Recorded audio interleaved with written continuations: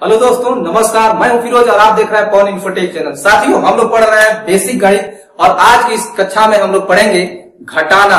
Simple घटाना, हासिल वाला घटाना और दशमलव वाला घटाना। तो बने रहिए हमारे वीडियो के साथ। तो चलिए शुरू करते हैं।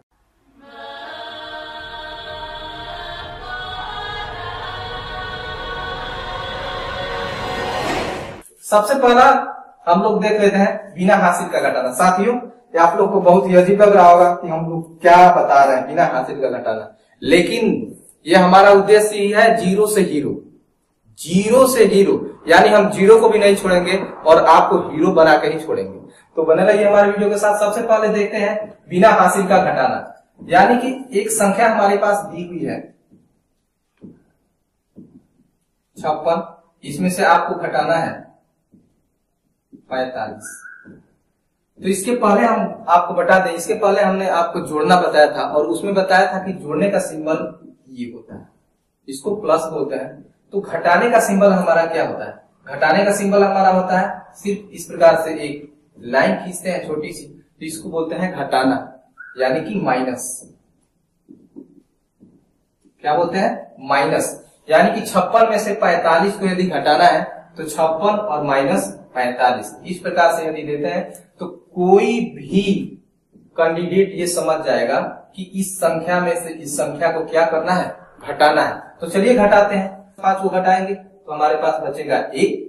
और यहाँ से पाँच में से चार घटाएँगे तो भी हमारे पास क्या बचेगा? एक बचेगा।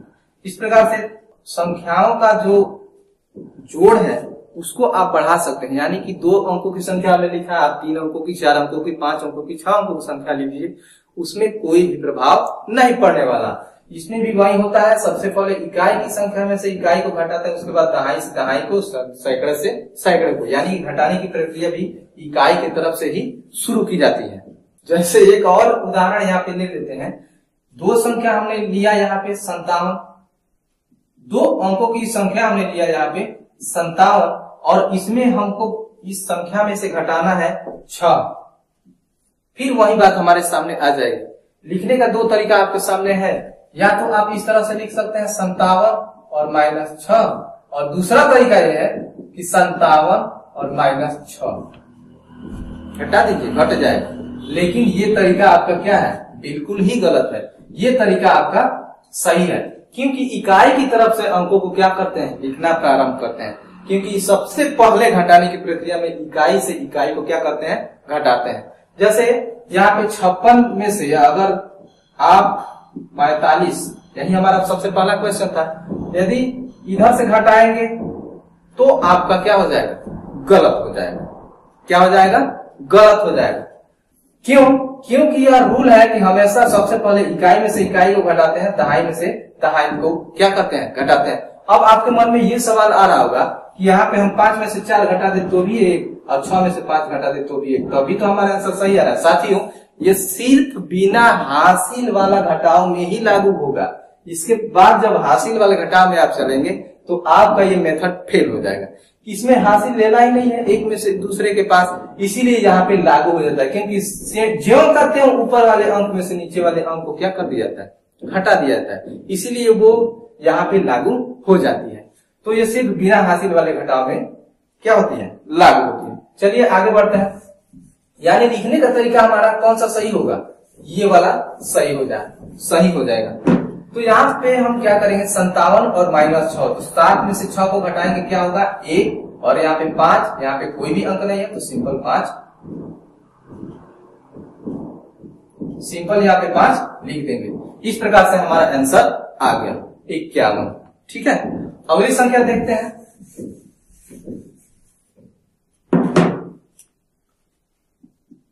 पाँच सौ छिहत्तर में से हमको घटाना है।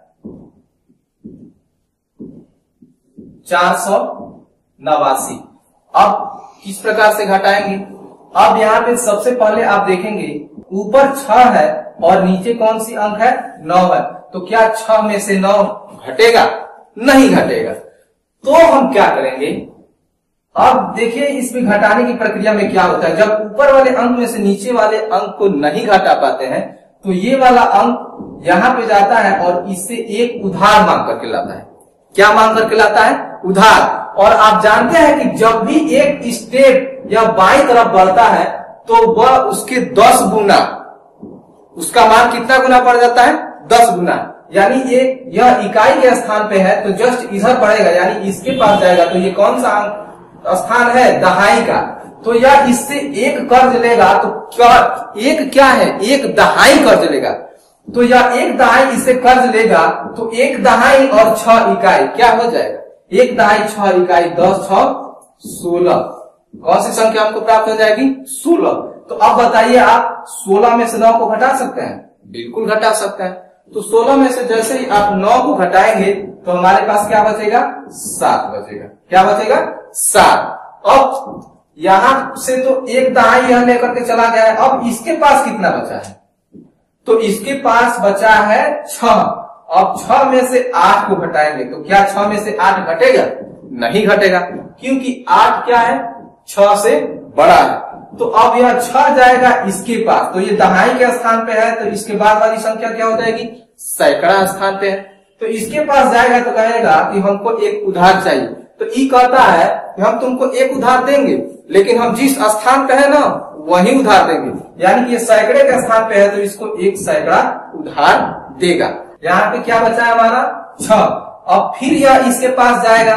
या यहाँ से एक हासिल लेगा तो यहाँ पे फिर से हो जाएगा हमारा एक दहाई छ इकाई। तो फिर हमारा क्या हो जाएगा? सोलह। तो सोलह में से अब आठ घटा सकते हैं? बिल्कुल घटा सकते हैं। तो सोलह में से आठ घटाएँगे, हमारा क्या बचेगा? आठ। क्या बचेगा? आठ। अब यहाँ पे क्या बचा? चार। तो चार में से चार घटाएँगे तो हमारे पास शून्य बचेगा। इस प्रकार से हमारा आंसर आ जाएगा सत्तासी। यानी कि पाँच सौ छिहत्तर माइनस चार सौ नवासी, हमारा आंसर आ जाएगा सत्तासी। चलिए एक और एग्ज़ाम्पल देख लेते हैं। पाँच सौ पंचानवे माइनस तीन सौ सतहत्तर। अब इसको घटाना है? तो पाँच में से सात को घटाएँगे। नहीं घटेगा। या इसके पास जाएगा तो एक यहाँ से लेकर के आएगा तो एक और पाँच। इस प्रकार से यह संख्या हो जाएगी पंद्रह।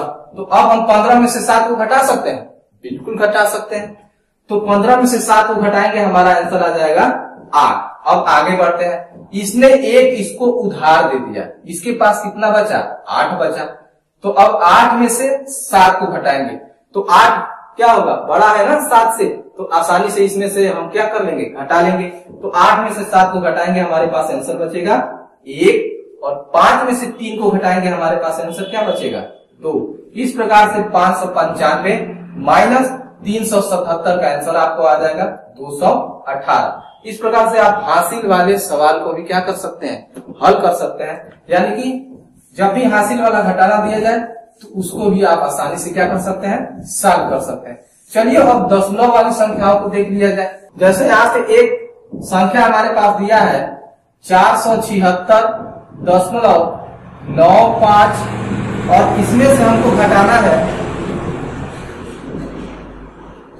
तीन सौ सतासी दशमलव सात पाँच।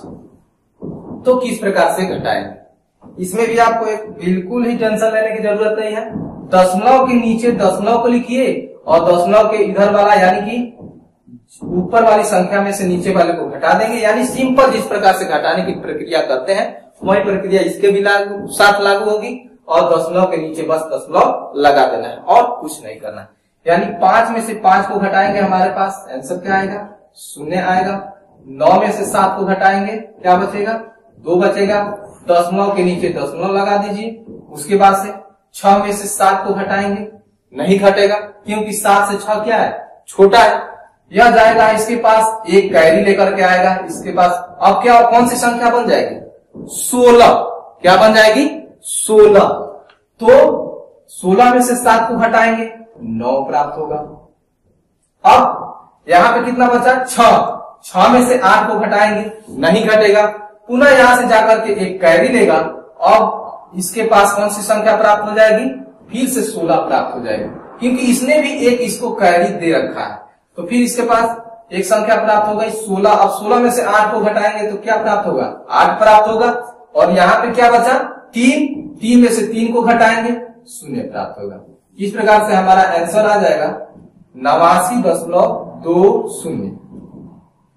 इसको बिल्कुल भी मत बोलिएगा कि नवासी दशमलव बीस, ये गलत हो जाएगा। क्या आंसर होगा? नवासी दशमलव दो शून्य। ठीक है? चलिए आगे बढ़ते हैं। जिस प्रकार से जोड़ने की प्रक्रिया थी, घटाने की प्रक्रिया भी सेम से उसी तरह से है। यदि एक संख्या हमारे पास दिया है, पचहत्तर दशमलव छ और इसमें से हमको घटाना है पैतालीस दशमलव सात पाँच। तो तो लिखते समय बस इतना ध्यान रखिएगा कि दशमलव के नीचे दशमलव लिखा होना चाहिए। और उसके दाएँ तरफ़ जो अंक है, उसको दशमलव के बाद लिखते हुए चले जाइए।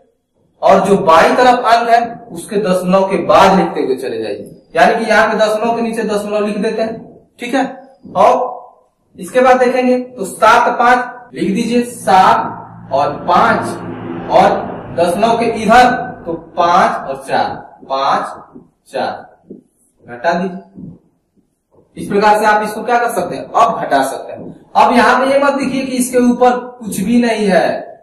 उस पर आपको बिल्कुल ध्यान नहीं देना है। उसको आप शून्य मान लीजिए। कोई भी फ़र्क नहीं पड़ने वाला। अब इसको घटाइए। इसके ऊपर आप शून्य लिख सकते हैं, बिल्कुल भी फ़र्क नहीं पड़ने वाला। अब शून्य में से पाँच को घटाएँगे, नहीं घटेगा। यहाँ से जाकर के कैरी देगा तो कौन सी संख्या प्राप्त हो जाएगी? एक दहाई इसके लेगी तो इसको प्राप्त हो जाएगा दस। अब दस में से पाँच को घटाएँगे। पाँच बचा। अब यहाँ पे क्या बचा? एक इसने इसको उधार दे दिया है, इसके पास बचा पाँच। तो पाँच में से सात घटेगा, नहीं घटेगा। फिर यहाँ से कैरी लेंगे तो इसके पास कौन सी संख्या हो जाएगी? पंद्रह। अब पंद्रह में से सात को घटाएँगे तो क्या बचेगा? आठ बचेगा। अब यहाँ पे क्या बचा? अब दशमलव के नीचे सेम दशमलव इस प्रकार से लगा दीजिए। अब यहाँ पे क्या बचा? चार। तो चार में से पाँच को घटाएँगे, नहीं घटेगा, क्योंकि चार पाँच से क्या है? छोटा है तो यहाँ से एक कैरी लेंगे। तो इसके पास कौन सी संख्या अब तैयार हो जाएगी? चौदह। ठीक है? तो चौदह में से पाँच को आप घटाएँगे तो क्या प्राप्त होगा? नौ। अब इसके पास कितना बचा? छ, क्योंकि इसने भी एक कैरी दे रखा है। तो छह में से चार को घटाएँगे। कौन सी संख्या प्राप्त हो जाएगी? कौन सी संख्या प्राप्त हो जाएगी? दो प्राप्त हो जाएगी। इस प्रकार से हमारा आंसर आ जाएगा उन्तीस दशमलव आठ पाँच। ठीक है? तो इस प्रकार से आप घटाने की प्रक्रिया को आसानी से कर सकते हैं। और इस तरह से जितने भी क्वेश्चन दिए जाए, सबसे पहले बस एक ही बात आपको ध्यान रखना है। दशमलव के दाएँ तरफ़ लिखने की प्रक्रिया दशमलव के बाद शुरू कीजिए दशमलव के बाएँ तरफ़ वाली दशमलव के बाद। इस तरह से लिखते हुए आप आइए और उस प्रकार से क्रम को लिख करके आप आसानी से घटा सकते हैं। तो आज की वीडियो में बस इतना ही। वीडियो अगर अच्छा लगे तो लाइक और शेयर करना बिल्कुल ही मत भूलिएगा। अगला वीडियो पाने के लिए, अगला वीडियो पाने के लिए चैनल को सब्सक्राइब करना बिल्कुल ही मत भूलें। आज के वीडियो में बस इतना ही। मिलते हैं अगले वीडियो में। तब तक के लिए नमस्कार। जय हिंद जय भारत।